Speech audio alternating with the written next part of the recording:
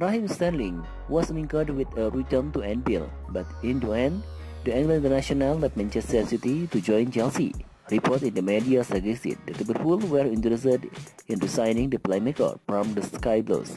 Eventually, he signed a new contract worth 300,000 pounds per week to move to Stamford Bridge. However, contrary to the claim, Jackie Talbot has revealed the Sterling pressure scored a move to Liverpool and the Merseyside were the ones who rejected the chance to bring him back.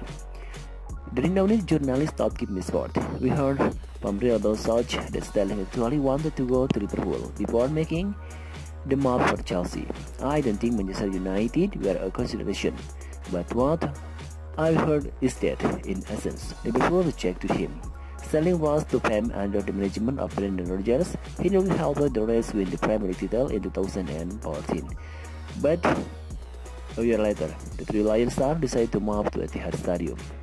Since then, the 27-year-old has received consistent jeers and boos from the Anfield faithful every single time he has played against us.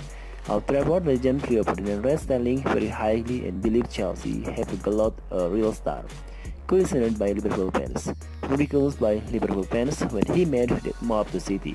Other section of the football community questioned whether he was good known, should not be held in that esteem should not be held in that class. The kid does it everywhere. He does in the Champions League, the Premier League, and Chelsea, by the way, what a steal. Sterling won four Premier League titles with the Citizen, but last season he often found himself on the bench. Will he be a hit under Thomas Tuchel? We shall see.